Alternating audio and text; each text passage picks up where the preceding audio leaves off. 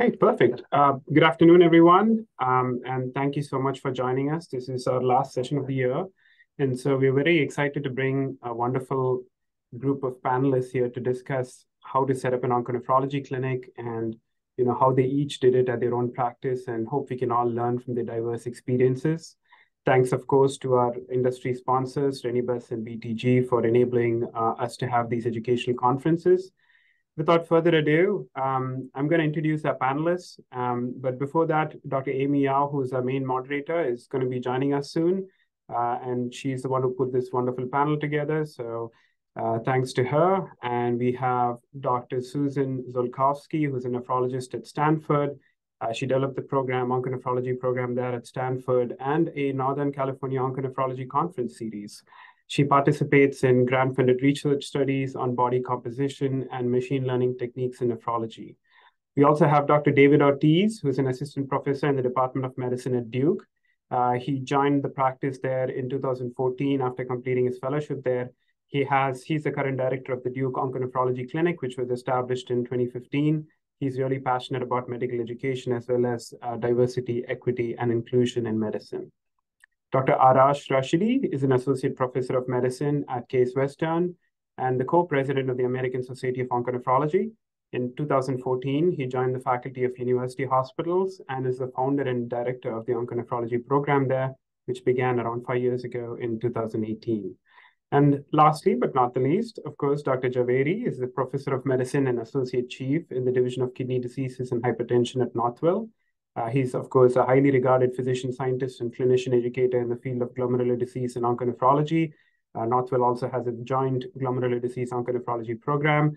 And Dr. Jhaveri was, as you many of you know, a recent recipient of the ASN's Distinguished Leader Award just last month.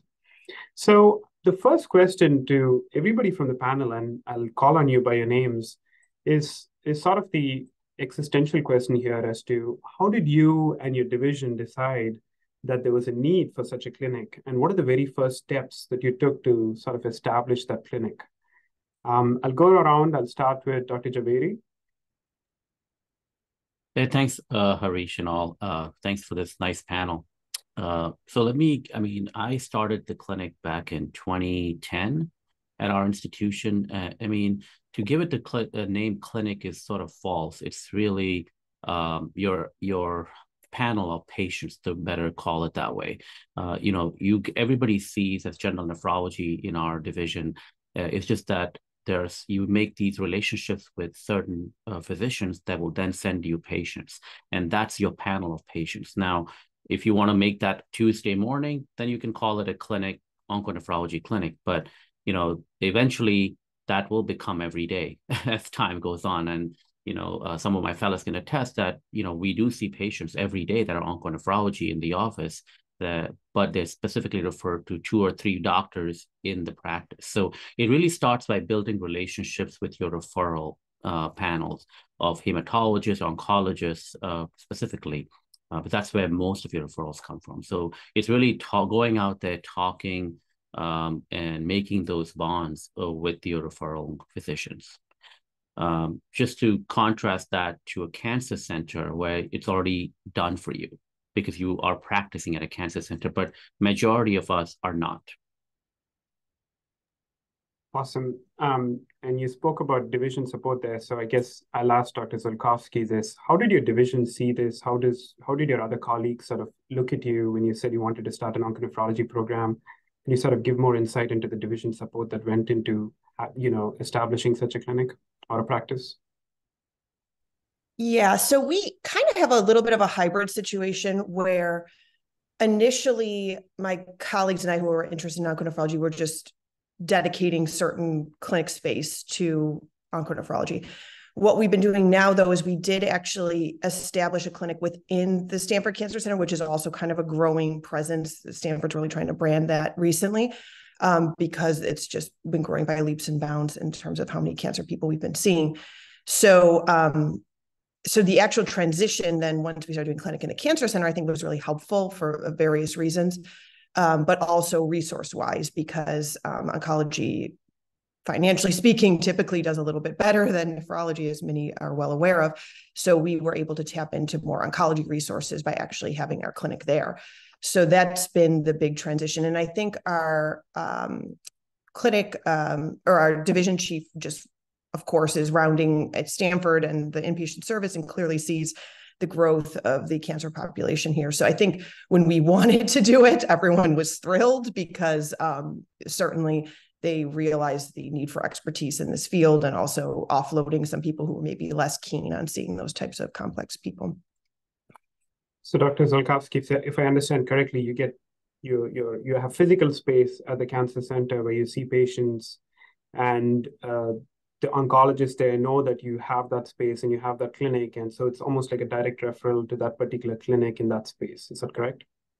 Exactly, yes. And we partnered a lot with a rheumatologist as well, um, who's an oncorheumatologist. So it's kind of the three of the, the um, well, now four of us um, who really have been doing the majority of it. So, um, yeah, we're just integrated. There's like a, you know, a breast oncologist who's always doing a clinic right next door to me and things like that. So, um, that's been really nice to facilitate more collaboration and things, of course. That's awesome. That's awesome. Dr. Ortiz, I know you've had this clinic for a while. Uh, how has your experience been over the years and what's changed?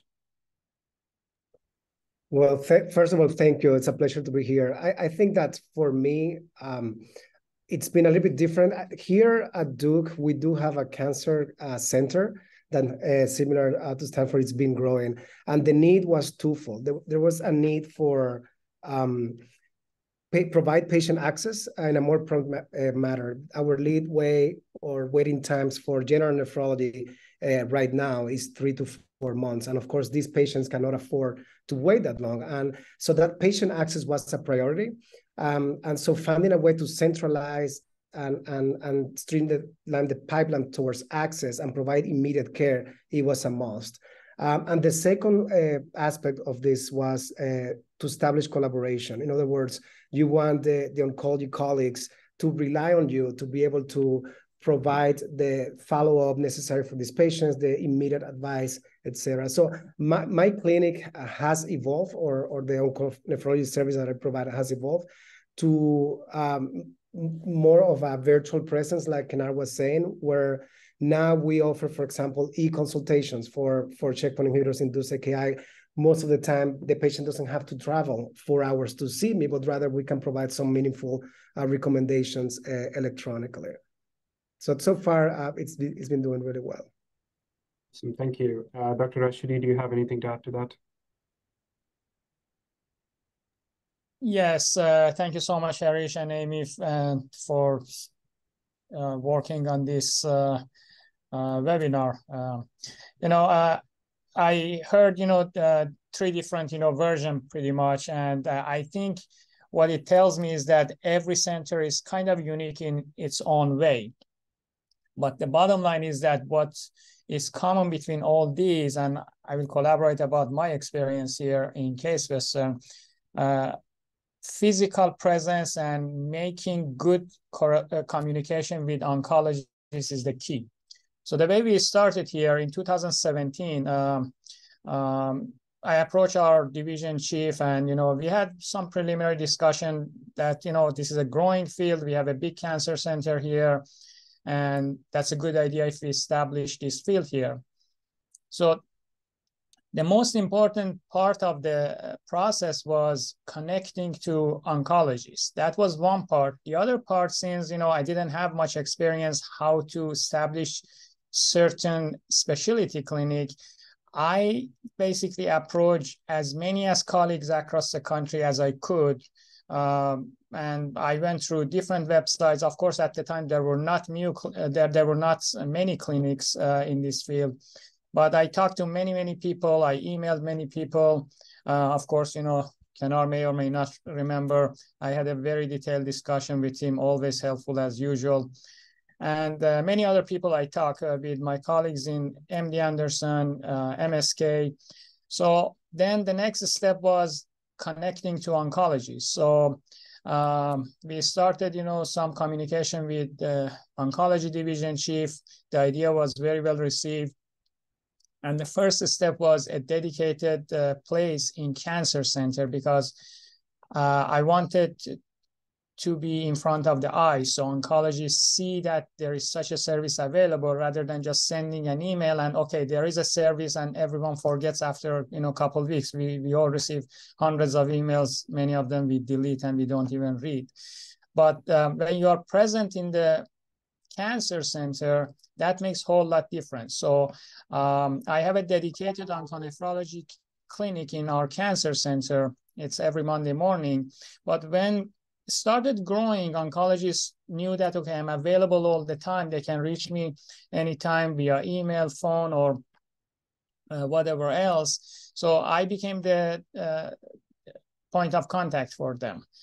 Then um, the other thing which kind of makes it different, my experience from others, is that after a year or so, we decided to establish onconephrology consult service uh, in our center. Uh, all these consults in patients, they were being seen by our general nephrology service. And uh, we created a new onconephrology inpatient consult service. And that made the field even more visible to our oncology colleagues. So uh, I'm the only one who is doing it. And of course, I have another uh, friend and colleague who helps me when I, whenever I'm off or out of town.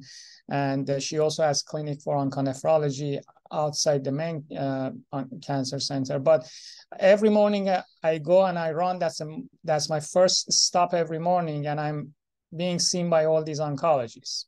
So that makes a whole lot difference. Then after growing, now I have you know lots of oncology patients, not just in my dedicated uh, cancer center clinic, I see lots of these patients mixed with my other patients in my general nephrology consult. And the reason is some patients cannot get to that certain location and I have opening in my other location. I just try to provide the same day, the next day, or the max is two, three days after the you know service is requested. I try to be available maximum two, three days uh, to see these patients. Awesome. Thanks for that. I'm hearing a lot of uh, a lot of focus on collaboration and uh, quick turnaround times for seeing these patients and perhaps physical space at the cancer center. It definitely helps in bringing up your volume of uh, consults and new patients.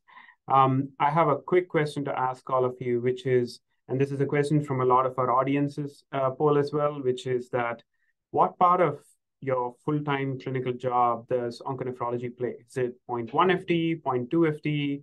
Can you put it into context of how much um, it sort of like ties into your overall job? Uh, when people are thinking of starting out, let's say graduating fellow or somebody early into practice, and they're thinking about establishing a clinic or having a onconephrology consult service, how much do you think that sort of like weighs into your overall role? I'll go in the same order. Uh, Dr. Jhaveri, if you want to start first. Yeah, I, I would say like 0.4 FTE uh, would be sort of the way to go. Uh, be mindful that these patients are not going to get you the RVUs you need uh, in a practical world. Uh, so you do need to have dialysis presence, you need to have inpatient presence, uh, and also have a good work-life harmony. So, uh, you know, just be careful what you ask for. Uh, I'll go with Dr. Ziolkowski next. While you also answer your questions, can you also briefly tell me about like how many patients you see per half day in clinic so people get an answer of like what the volume is? Yes. Um, so I think what was tricky was most of us already had general nephrology patients. And then as we wanted to scale up everything with our oncology, onconephrology, um, it was just a matter of, you know, you can't take on a, a, a humongous amount of people at one time, right? So um, I think right now I'm basically doing a half to a full day of clinic onconephrology specific. Um, I'm trying to scale down on my Gen Neph so that I can do more OncoNeph. Um, but you know, again, this stuff is a work in progress. Um, I would say that it depends on probably how you define onconephrology clinic because you know and I think this was one of the questions, maybe this will come up later, but you know, you can do it from all sorts of things. It could be we did it where every referral from the oncologist or hematologists comes to us, which is a lot. So we never really had any shortage it, plus some additional things as well. But we never really have a shortage of patients, that's for sure. Um, I think you could be way more specific so that it doesn't become overwhelming. Um, but there's definitely no shortage if you want to do it that way. Um, and uh, yeah, so that's kind of at least my personal, um, div- you know. But I'm, of course, I'm still doing other things as well to meet my RVUs and things. But um, and in a yeah. typical half day clinic, how many patients would you say you see? Oh yes, uh, a I probably do one to two new people a week. We also have a nurse practitioner or a PA who has been great at offloading our returns to allow us to have a lot more news, which has been fabulous. Um, so probably one to two news a week, and then um, three to four, or I know I would say four to five follow ups at least a week.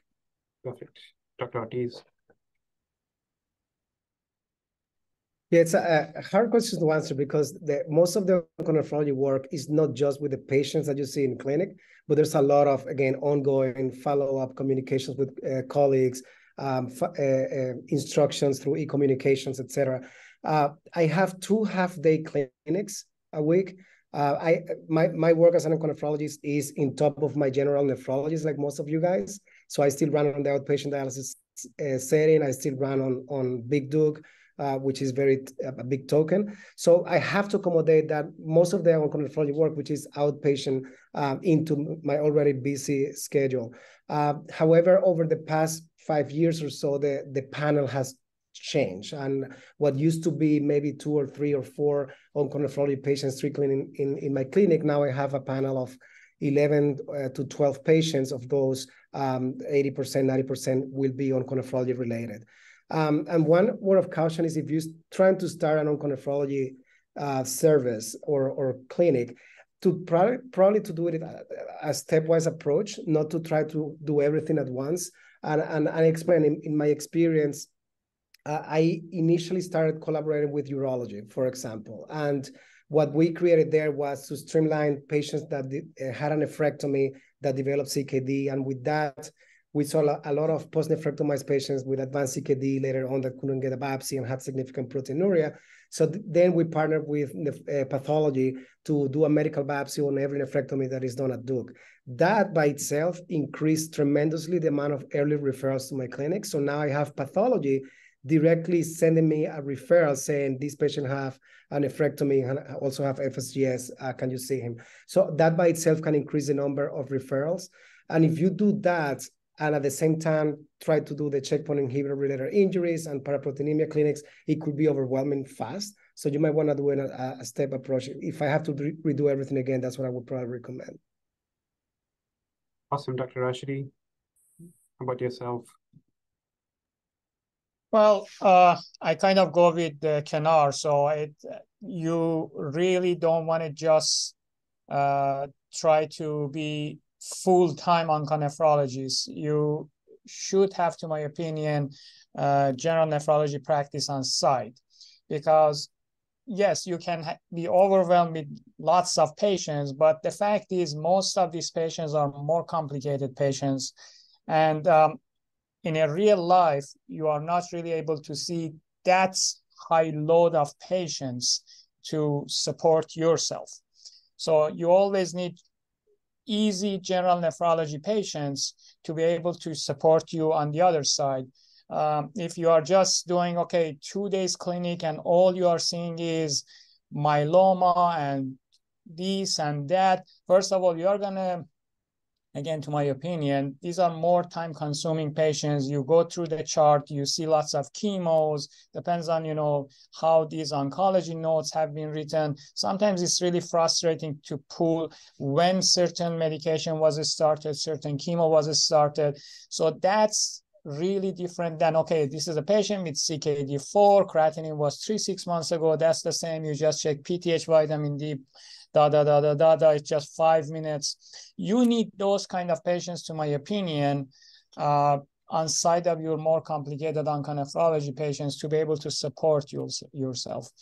Um, that's my opinion. Hey, Harish, can I just comment? Of course.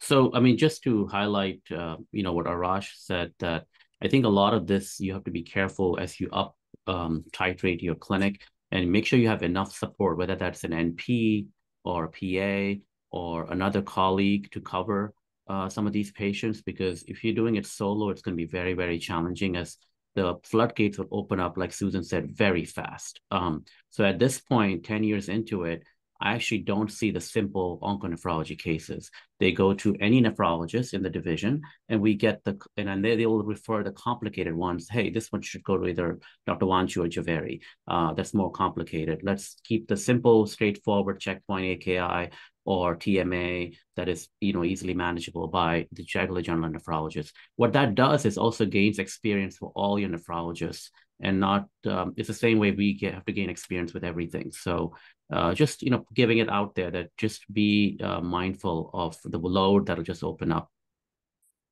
and um, just quick question on sort of the tips to increase referrals i know we spoke a little bit about you know to get direct referrals and so on and so forth do you all have your referrals come through epic or do they come to your email um, how do you get your referrals basically and I know Dr. Ortiz mentioned uh, the urology cohort. So yeah, like, but how do you how do you like and mostly get your referrals?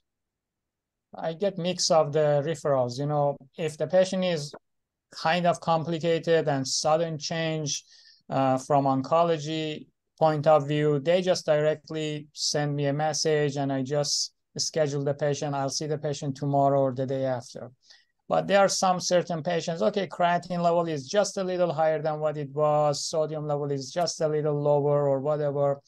They usually go through our central scheduling, but they, they request onconephrology clinic mm-hmm. uh, because, you know, we have general nephrology. I have general nephrology clinic and my other colleagues, obviously, they all have. So uh, somehow they are being directed, uh, diverted to my clinic but uh, most complicated cases are directly coming from oncologists. Perfect. We do a lot of email, and we have a general email that any oncologist can email that goes to like our secretaries. Um, but um, a lot of times we have to function more like a private practice model, but we might have to see the patient the very next day. You cannot just so three months out. Uh, so you have to be uh, so texting is another way, like to you know, so it's another way we get consults through Teams and so forth.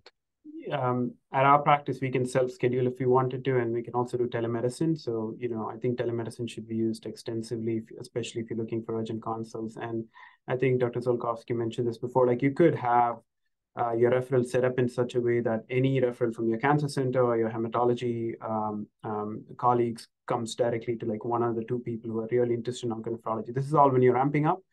Uh, but when you're 10 years in, like Dr. Jhaveri, you might want to you know, um, give the tools to your colleagues to, you know, help them manage uh, and learn from their own onconephrology patients as well, which is also, um, I think, a really nice thing. Um, I do have one question before we move on to the next section. I know Dr. Rashidi mentioned a little bit about having an inpatient onconephrology service. Um, do any of you, can you, any of you give, you know, some more sort of your experience of like how that works and what the volume is and the utility of setting that up uh, within you know your burden of your general consult and dialysis and transplant, etc. Maybe Dr. Rashidi, since you already you said you had the service, you could go first. Sure. Um, uh, in regards to volume, so like any other consult service, that could be up and down. There are busy days or light days. I could say my experience since 2019, it's about four years now. I had as light as like one to two patient in my list up to 12 patients in my list.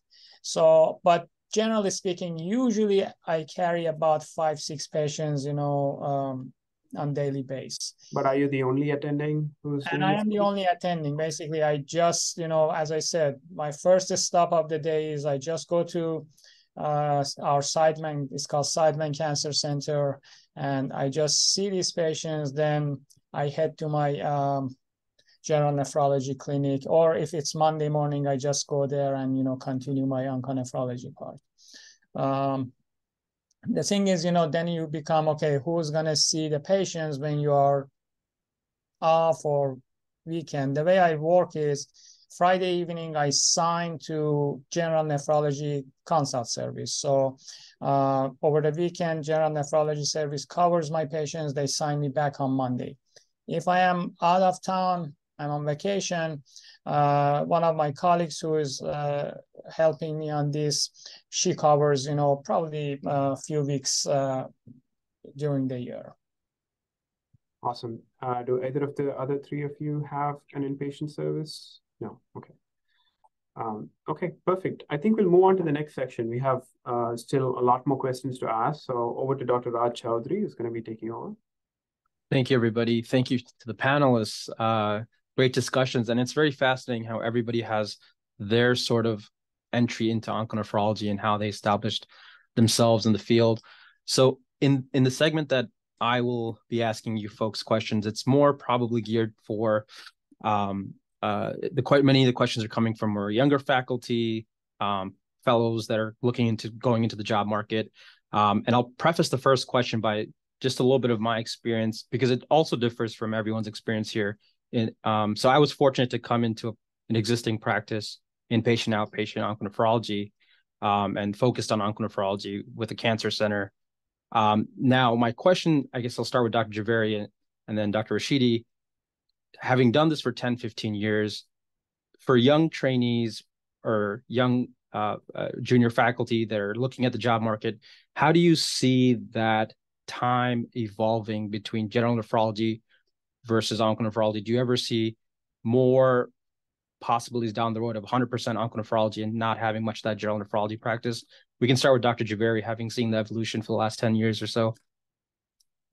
Uh, unless uh, the AMA decides to give uh, more dollars for RVU amount for nephrology outpatient practice, I don't think that's going to change. Uh, because if you want to, even in private practice, um, which the majority of our fellows go into, say they join a group that actually gets a lot of referrals from a cancer, uh, you know, group, uh, they're not going to be able to generate enough income to for their salary unless they see dialysis patients as well um, and drive around to four different units. So just for practicality purposes, unless we get paid more for the RVU amounts, it's not going to be practically possible. For researchers, yes, because you have protected time and you might get funding elsewhere, that's doable. If you get hired by Sloan Kettering or Dana-Farber or MD Anderson, which are pure cancer centers and hired by them, not for the affiliated institutions, maybe then it's a different story because you're constantly seeing only those patients. But majority of our other hospitals are hired by the school or university and there's a cancer center attached to it. So uh, just you know that's the the realistic uh, you know view of things. Dr uh, Rashidi? Yeah i second Kenar so uh, you know obviously the story of md anderson sloan kettering and you know Dana-Farber is totally different because they are pure cancer centers and that's all they see they want or they don't want their onconephrologists. But that's not the story for uh, even bigger academic centers who are not just pure cancer centers, such as you know our center here. Well, we we have a big you know institution here. You know, uh, nephrology is part of them, and oncology is another part of it. So they have patients, but it's not like all patients are onconephrology patients. And really, I mean, again, this is my opinion. In real life, you need to be able to support yourself also. You are doing academic work, but that's not all you do. You also want to support yourself. And I am not sure if at the current, you know, status, if someone could purely support himself or herself just based on seeing pure onconephrology and, uh, you know, just passing on dialysis patients or general nephrology patients. Excellent. So because you, you know, the the majority of the group, as you all have mentioned, are in the realm of private practice. Most of our fellows go into private practice. So well, a question that we have uh, uh, for that segment of the population is for Dr. Ortiz, if you're in, you know, sort of in a hybrid model or in private practice and you have clinic, how do you how do you stay in touch on top of the literature? What type of educational um, um, initiatives have you participated in or recommend participating in? Well, yeah, so so that the more patients you see, the more you're gonna get exposed, and the more you're gonna read about your patients. So comes with practice, but I think that uh, it's gonna be pivotal to to to engage with societies like this one. Uh, when I was started, I I I reached out to to Kenar and he invited me to the first symposium that they did in in Long Island, and and that by itself opens up a huge amount of uh, thirst for knowledge and try to apply what you learn uh, there. So I think keeping engaged with continuing medical education, keeping engaged with uh, seeing the the patients you get exposure, and then finally keep engaged with the with the programs and so, uh, social networking like societies like this one, so you can you know I, I, when I have a question, I just I know I can text Kenar for example and, and brainstorm about a case. So and that's how we we learn as we go. Dr. Ziolkowski, I have a question for you. So at Stanford, you know, you have a, a, awesome general nephrology training program. How have you sort of integrated some of the onconephrology teaching educational component amongst your general nephrology folks? Well, so we started with doing a monthly OncoNeph series, which is with oncology and nephrology fellows. Um, it's more case focused. Um, it also allows you know us nephrologists to learn amongst each other as well. So that's been great. Now it's expanding to UC Davis and UCSF. Um, so that's also what's super exciting for us. So yes, um, it's kind of evolving over time, but I think um, at least learning about the cases amongst each other has been really really cool and really you know exciting. And i think um, as much as we don't have specific cancer centers for any of those three centers um, there's still a lot of cancer patients so the stuff that we you know come through it, we can still learn a lot which has been great. Um, i think that's pretty much all we're really offering so far. I mean we do as of course now have the onconephrology specific clinics so the fellows who are more or less interested could shadow us in our specific clinics. Um, and that's kind of what we've been doing thus far. Now, one uh, one question from the audience that we have is uh, onconephrology is so broad. From an educational component, what are some of the high yield things to understand and grasp? Dr. Jhaveri, we can start with you. Oh, I think, uh, I mean, the high yield stuff for someone going into private practice is definitely myeloma, is one that they should grasp and uh, toxicities of uh, some of the more common agents and hypercalcemia malignancy and tumor lysis syndrome. I think those four probably is the highest deal because that will the most common stuff they'll see in practice, inpatient and outpatient. Dr. Rashidi, any other thoughts?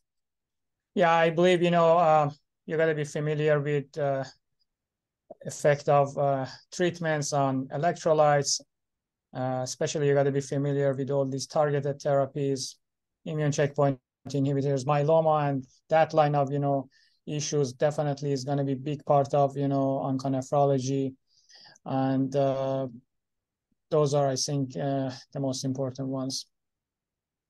It's it's excellent that you mentioned that, and many of our fellows also asked me that question. And frankly, the foundation of nephrology doesn't change as you just need that core foundation and you're sort of applying it to a different complex patient population. So having that foundation, acid-base electrolytes, and then just taking it to another step with the resources that exist.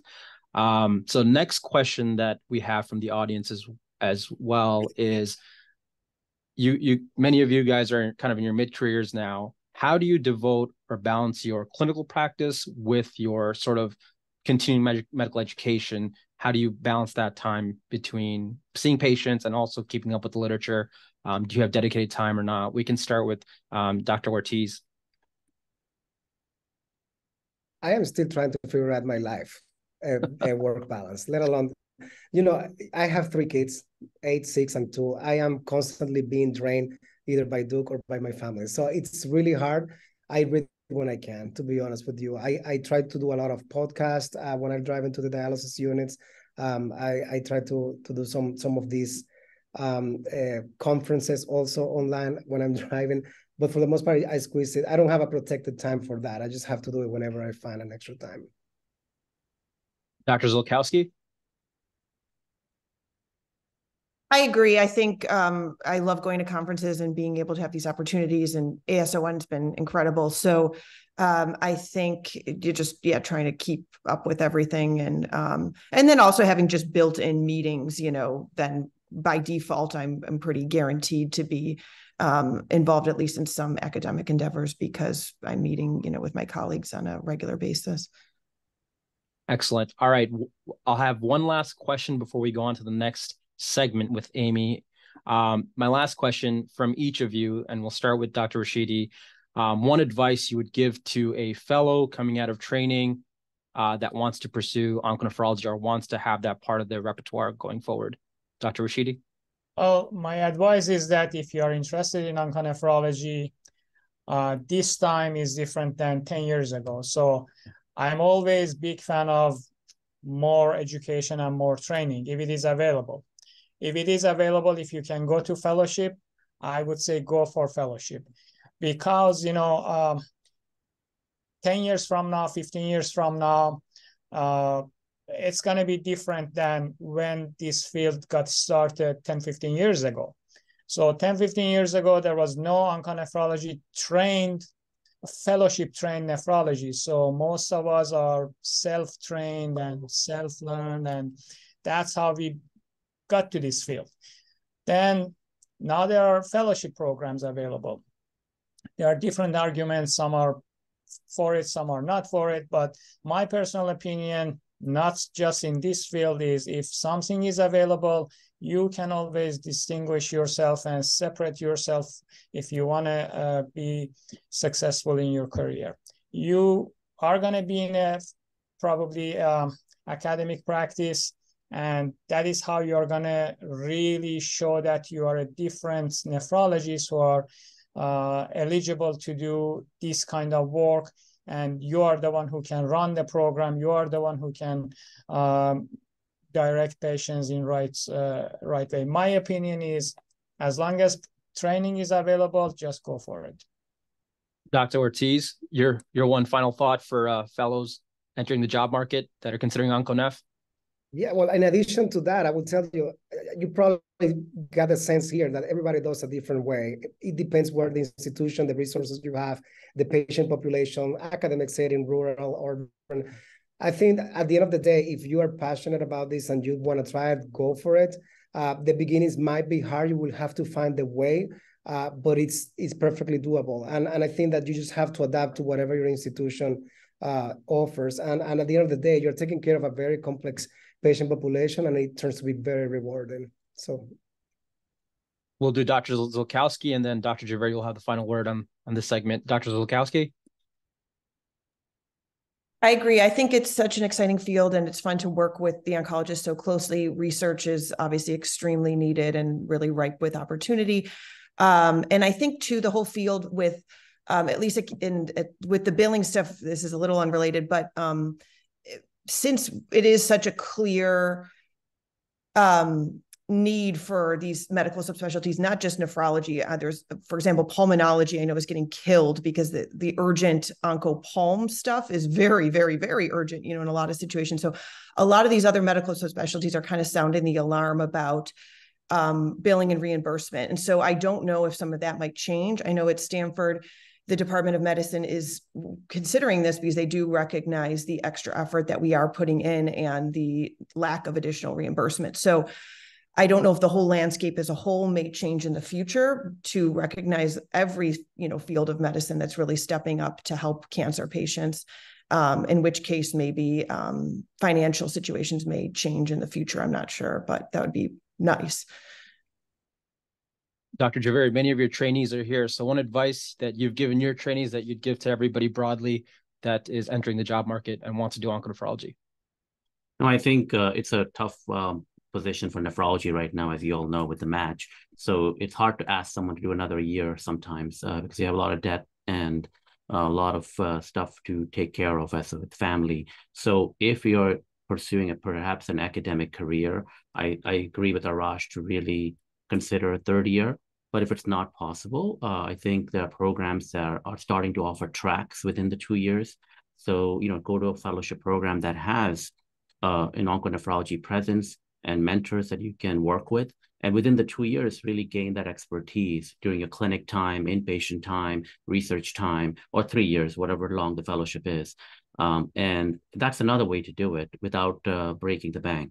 Uh, you know, so just you know, be practical about it um, it depends on your family situation and uh, and so forth. Thank you so much, Dr. Yao. I'll pass it over to you now. Great, thanks. Uh, so I think this has been wonderful. My section is kind of to ask questions about how to grow the clinic um, and um, also like uh, research and things like that. So I'll kind of start with, I guess, um, beginning. So this was an audience question. So what did the when you guys first started the clinic, what did the business plan look like and how did it change over time? Um, I'll start with Dr. Ziolkowski first, actually. Yeah, this is still an evolving process. So, yes, we are physically located in the cancer center, but unfortunately, we are not billing any differently. We're still billing under the umbrella of nephrology. Um, and so I wouldn't say that we have really any unique business plan per se. Um, well, actually, so to get our um, uh, PA to hire us. We actually initially got that under a grant. Um, it was a cancer center grant that funded her first year, and then once we proved her productivity, then she was hired, you know, officially, which was kind of a unique uh, thing. Um, I'm trying to think what else. And then, like I'd mentioned before, yeah, I think the landscape at Stanford is changing because we talked about getting like a medical directorship position that may fund us a little bit of FTE so that um, you know the admin component could be covered for at least one of us um, in the OncoNeph space. But um, that is not going to work, at least as of now, because um, again, these other medical subspecialties are kind of requesting similar. So Stanford does not really know how to approach this right now, and I, I it is a very strong cause for concern. So I don't know how this is all going to play out. But as of now, we didn't really do anything. I would say too too uh, disparate than just doing a clinic at a different space. All right. And how about you, Dr. Ortiz?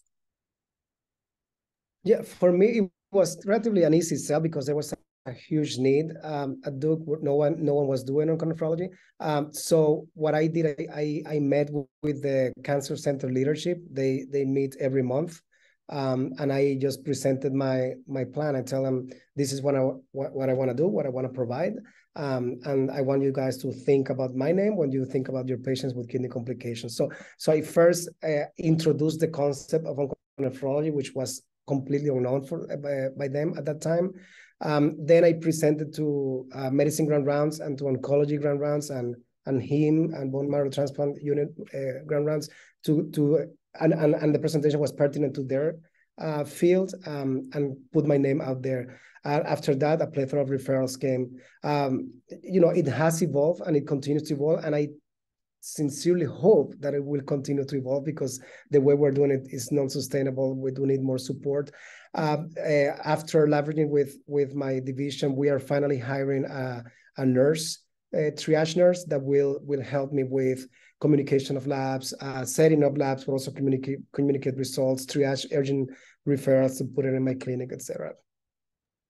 And then to build on that, Dr. Javarius and Rashidi, since your clinics have been established for a while, if you guys can discuss your onconephrology clinic and how how it changed over time, especially in terms of payment. So, you know, originally were you guys under the umbrella of nephrology and now is some of your FTE or clinic FTE covered by oncology? And if so, how, how were you able to negotiate that or at least get some of the uh, payments um, covered? So I'll start with you, Dr. Jhaveri.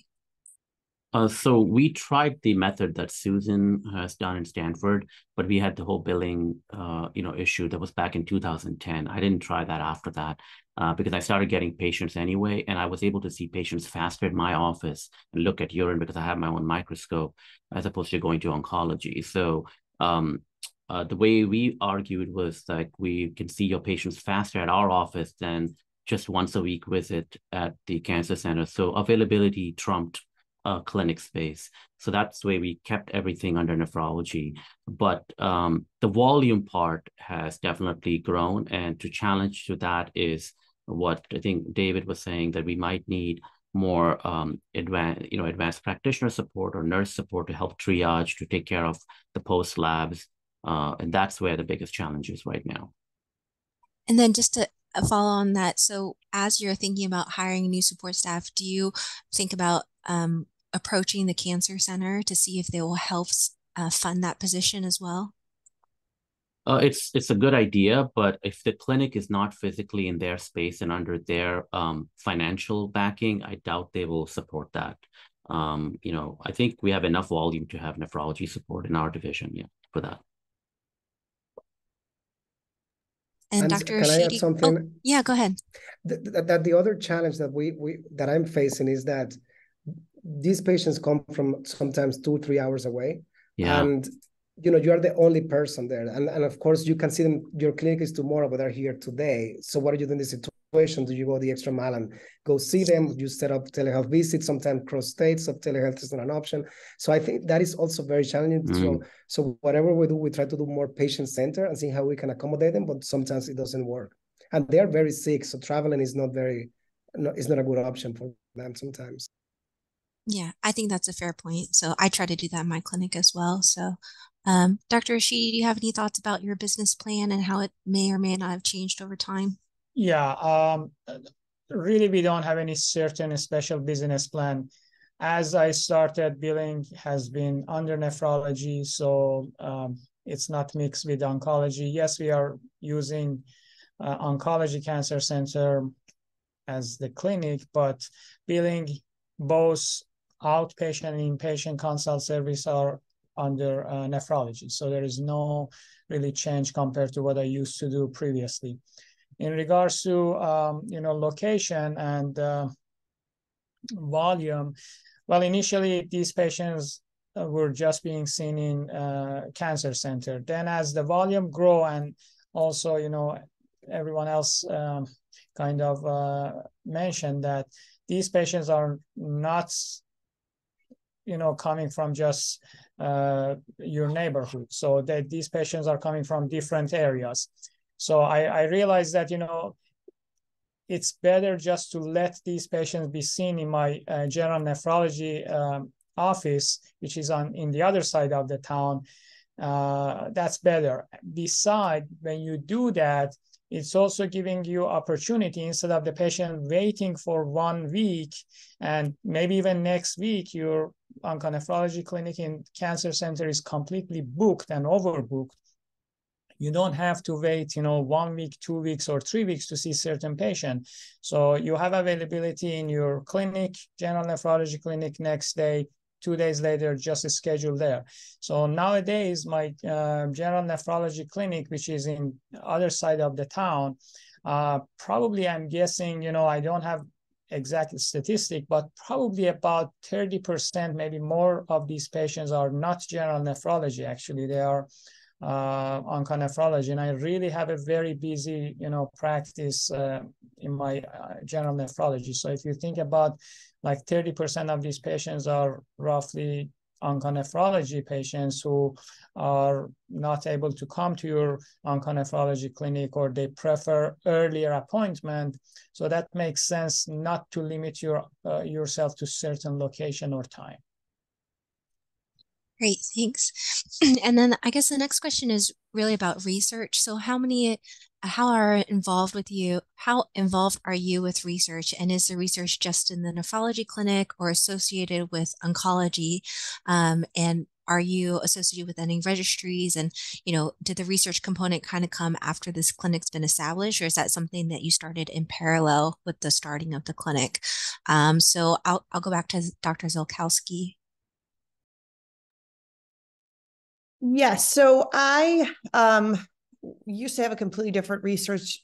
I shouldn't say completely different, but a different research focus. And then when I started moving more into the onco- onconephrology space, I've been now working in um, two different realms. And so initially to kind of get going in that spot, I did get internal grants.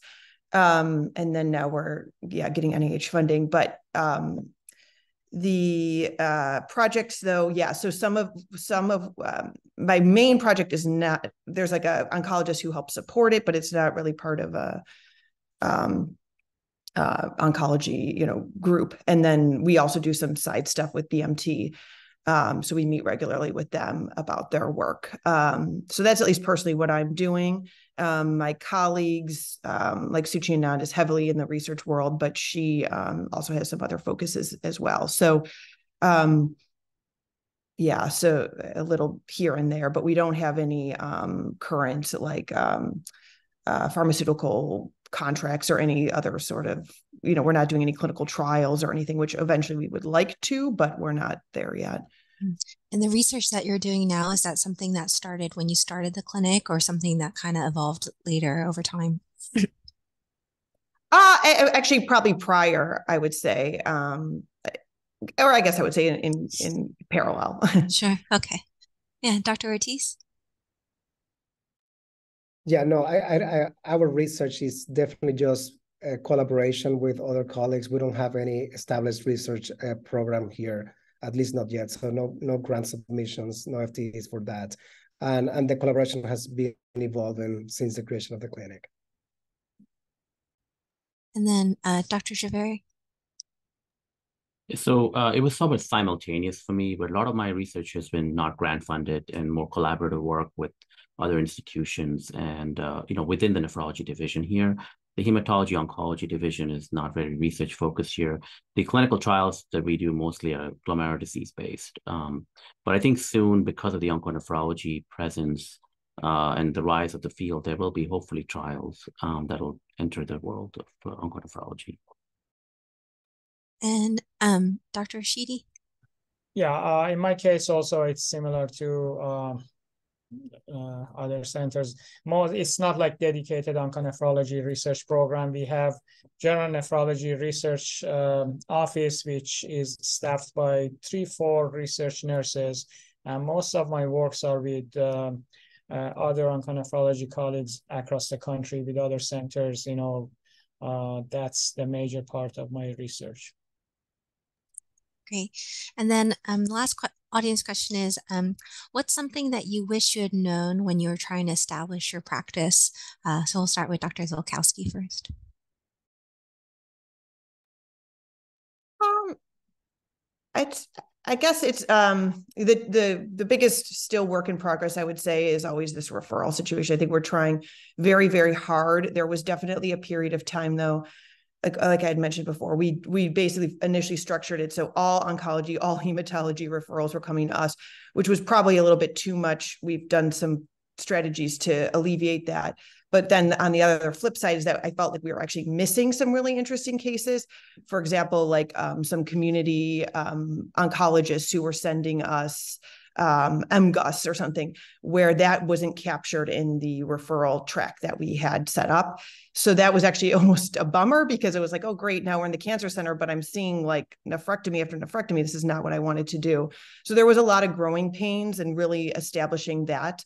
So I would say that that probably that's the the the, the biggest struggle with all of this is, um, but it sounds like um, yeah, as we've kind of come along and gotten more context with oncology and they know us, like, you know, at least we're, I don't think we're missing the main stuff internally. Um, but a lot of that, that initial setup was, is, is quite a struggle, at least at the beginning for us. Great. Dr. Ortiz? Yeah, very similar to me. And, and I think that looking back, we all do this because we love it. We're passionate about it. Um, but I think that if if I talk to myself a few years ago, I would say, you know, there is value on doing this, but also there is value for the institution. And I think internalizing how much you bring to the institution, uh, you can use that as your leverage to to request uh, for better institutional support. This is something that Duke uses for recruitment, for example, but it's also a better patient care uh, provides better access, provide a, a, network of collaboration. So it does have added value to, to the institution and knowing that from the beginning is important because it's not that they're doing you a favor, you're actually making the institution better. Yeah, I think that's a good point. Uh, Dr. Jhaveri, you've been doing this for a long time. Anything you, you wish you knew? Yeah, I wish I knew it was going to blow up uh, in terms of volume. Uh, and you know, I was not prepared uh, the first few years, and so it's it's now I know better. Uh, if there is something you need to be more get the sort of you know plan things way ahead and have enough people or personnel before you start it. Uh, sort of like the transplant program. You can't just start without coordinators and you know things like that. So. And Dr. Rashidi? On this area, I don't know. I, it's a tough question. I can't really recall anything uh, which I might have done differently or uh, if I wish I had known. I mean, obviously, you know, as time goes, you become more and more experienced, and you wish you had today's experience six years ago. That's for sure. But uh, other than that, no, not really. Great. Well, we covered almost all the questions. Um, so I, I just want to, uh, I guess, ask if there's any other questions or anything else that Harish and Rod felt like wanted to be covered.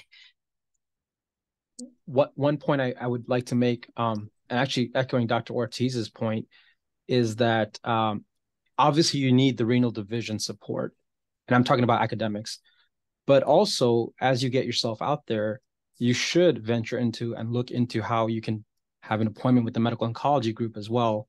Um, and the advantage of that is having that space, that nurse navigator, and they're very, you know, well resourced. So that's one advantage we have here, where many of the triage questions are already taken care of from the oncology side, the medical oncology side, by having that sort of dual appointment. So something to explore if you're going into onconephrology in academia. One of the other things that I thought was also important was how you know, you if you get an opportunity to sort of introduce yourself to the oncology division, that's a that's a great opportunity to do that, like Dr. Ortiz's presentation or, you know, your con joint conferences or whatever it might be, just like put your name out there and show your face. And that's like, oh, we didn't know this existed. And a lot of them are like that. And then slowly you start to build those relationships. And um, I've also noticed that oncologists, you know, um, it's very weird that you see like they see like one very specific type of cancer and you keep seeing the same patients. Like i've seen so many sarcoma patients for example and um, you don't expect that but that's how you sort of start to learn about individual drugs and get more and more experience in certain drugs versus not. So i thought that was great. I mean, the only other thing I would say is uh, make sure you do the conferences repetitively uh, because you know a lot of these cancer centers have a big turnover of oncologists and hematologists. So keep introducing yourself to the new ones that come too. Uh, and we forget that. And after doing it like the first few, you get enough patience, but then, you know, there's a turnover. So you want to keep doing it. Yeah, that's a great point. To that point, sorry I interrupted you. I mean, no, yeah, to, to the same point, you know, it's very important to be available and they know that someone is available. As Kenar said, you know, uh, there might be very high turnover and this oncologist might go, the other one is new, and sometimes even you don't know them. But when you are available, you you are in front of their eyes. After a short time, they eventually know that okay, you are the contact point, and you are the one they can send email or send message and talk to you about certain patient and uh, your availability and uh, visibility is very very important. I, I agree with that, and, and and don't forget about the mid levels. Uh, APPs and PAs are very important in this process because sometimes when you think about MD oncologists, but these patients are seen very frequently and have a very good collaboration with the uh, mid levels. Excellent. So I think we're almost at the end of the hour, and this is our last educational series for the year. I wanted to take this time out to really thank Dr. Sitapati and Dr. Yao. They've set a curriculum this year that was phenomenal. We've had international experts, we've had national experts, we've had fellows, we've had palliative care experts, and uh, they've left a blueprint for us to you know continue to implement and improvise as we go forward. So thank you, Harish, and thank you, Amy, for being such great friends and and colleagues of mine. Yeah. On that note, I guess. well, uh, yeah. Well, thank you, uh, Rod. It's been a pleasure. I know Harish feels the same way. Um, I do want to say thank you to our panelists. I appreciate all of your time and your experience. Um, I'm sure that you guys are available if anyone has any other questions in the future. Um, and we appreciate everybody for taking the time out to come uh, listen. Thank you, everyone. Thanks, right. You guys. Have a good rest of the day.